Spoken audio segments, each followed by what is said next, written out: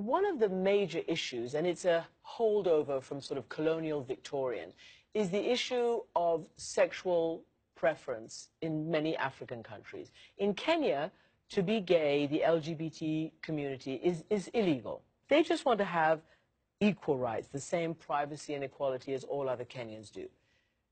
Is that something that you aspire to for your country? I want to be very clear, uh, uh, Christiana.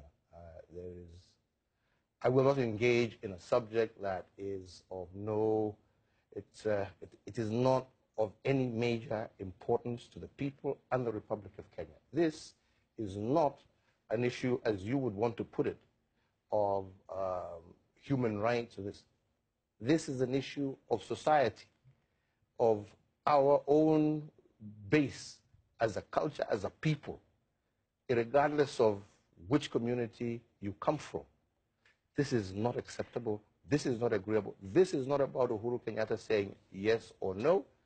This is an issue of the people of Kenya themselves who have bestowed upon themselves a constitution, right, after several years, have clearly stated that this is not a subject that they are willing to engage in yeah, at this time and moment.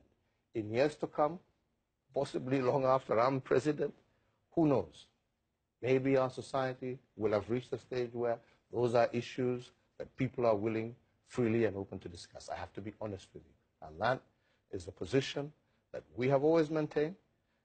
Those are the laws that we have, and those are laws that are 100% supported by 99% of the Kenyan people, regardless of where they come from. So I, I it's a very you're going to get yourself into trouble mm. because what you've categorically just stated is that this is not an issue for us, for the Kenyan people, yes. and you don't think that the idea of their privacy, their equality, their rights Christian, is important. This is, uh, but it's a global issue right now. It's, it's important to them where they are. Why is it I am saying to you that it as is president not of the country? important to me as the leader of 49 million Kenyans.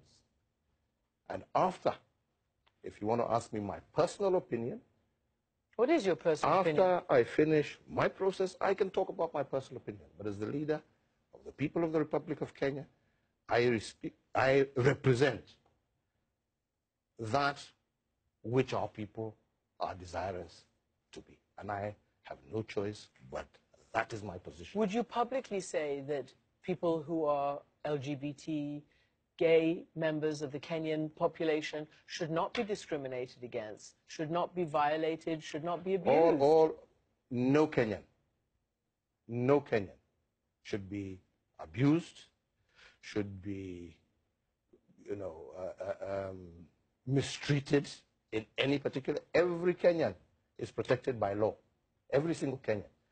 But they also must recognize that their freedoms are also must be taken into the entire context of the society that they live in. Because this is not a question of governments accepting or not accepting. This is a question of society, right? Currently, accepting, it's a legal process. Yes. And that legal process is based on the society that you live in, and that's why laws are made. So I think that's all I have to say about that particular subject.